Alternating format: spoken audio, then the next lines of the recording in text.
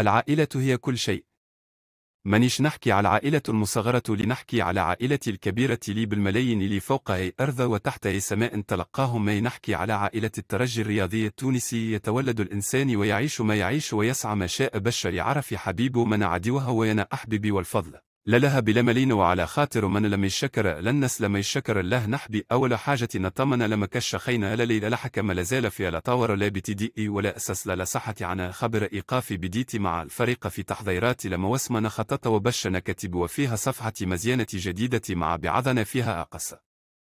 ما يمكن من الألقاب الدعم أول ما نزل الخبر كان من إدارة الترجي الرياضي التونسي لي على رأسها سي حمدي. لنشكر ومن ثم إدارة المخير إمكانيات اللجنة القانونية للنادي للدفاع عني واللي خذات الملف على عاتقها وطلبوا مني التركيز على الحانب الرياضي لا غير وفي التحضيرات.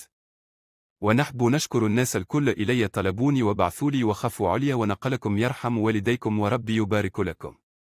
كل عبارات الشكر والتقدير والاحترام لجمهور عزيز وغالي يحميك ويحسسك لمدامك تنتمي لها لكيان العظيم مستحيل نخليك قسما بالله ما لقيتش الكلام ليفسر إحساس ناس يحول لك محنة لفرحة كبيرة تعرف فيها قيمتك في عينيهم.